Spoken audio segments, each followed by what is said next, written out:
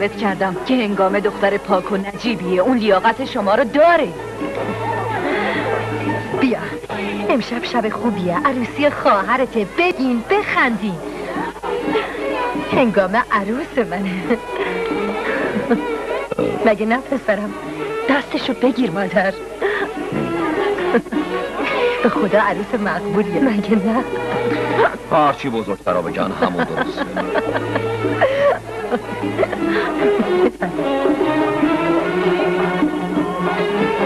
خب حالا از کجا شروع بکنیم اه، از ناز و کرشمه؟ متشکرم ماشاءالله به این رقص خوش آمدید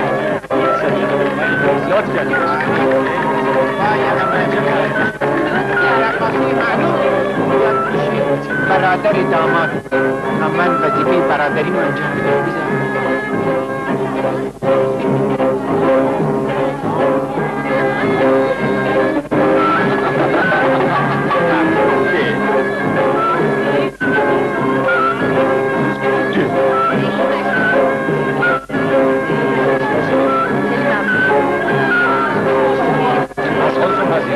چرا بیکار نشستی؟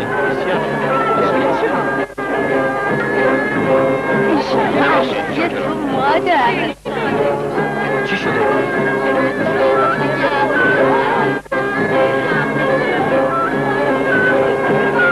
اینا دیگه گوش کن ببین چی میگم تمام درای خروجی رو یکی پاس ما بذار چون ممکنه بعضی شام نخورده برن تا من نگفتم کسی نمیره بیرون